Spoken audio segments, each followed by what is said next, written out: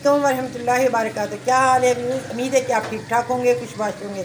अल्लाह की रहमतें और बरकतें समेट रहे होंगे। अल्लाह की नियमतों, दी हुई नियमतों से लुत्फानंदोज़ हो रहे होंगे। अल्लाह रब्बुल आपके रिस्क में बरकत दे, आपके खानों का जायका सलामत रखे, आपके प्यारों को अपने हिफ्जमान में रखे। आमीन, सुम्मा आमीन।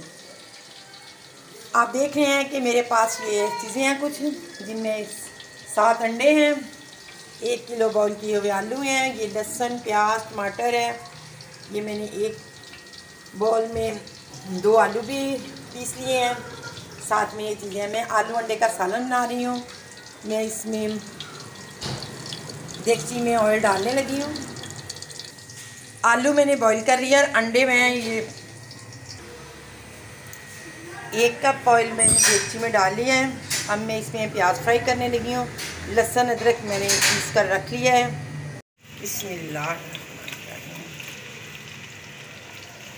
लहसुन को मैं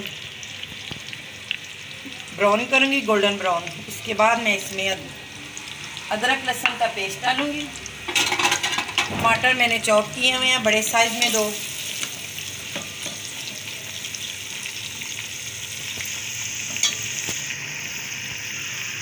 हाँ जी, ये मैं इसमें लहसुन शामिल कर देती हूँ। अदरक मैंने पीस लिया है, लहसुन को मैंने चॉप कर लिया था क्योंकि मैंने मसाले को ब्लेंड करना है, इसलिए मैंने इसको चॉप ही किया है। अब ये थोड़ी सी खुशबू आ जाए अदरक की, लहसुन की तो फिर मैं इसमें टमाटर शामिल करूँगी। हाँ जी, ये टमाटर शामिल कर देते हैं। अब टमाटर थोड़े से नरम हो जाएँ तो फिर इसको ब्लेंड करेंगे। और हाँ अंडे जब बॉईल करने लगे तो अंडों को धो के बॉईल करना है। अंडे घर से कभी बॉईल नहीं करती अब तो मौसम ठीक है, बेहतर है, लेकिन अगर गर्मियाँ आ जाए तो फिर उसको अंडों को चेक करके बॉयल करना है। धोने के अलावा उसको उनको चेक भी करना है कि ख़राब भी बॉईल ना हो जाए। आलू शामिल करने लगे इसमें।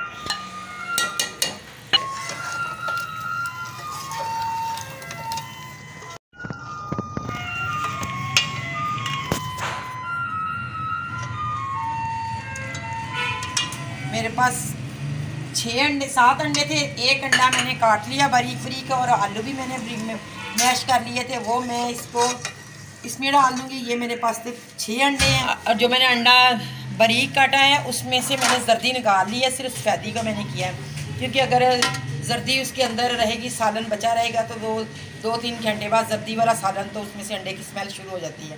ये अदरक है।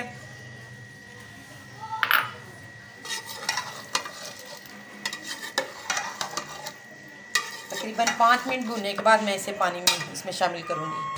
हाँ जी ये मैं इसमें पानी शामिल कर देती हूँ। हाँ जी जनाब।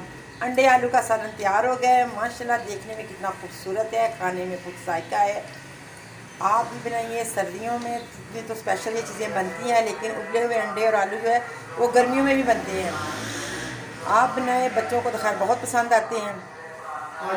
अस्सलाम वालेकुम वरहमतुल्लाहि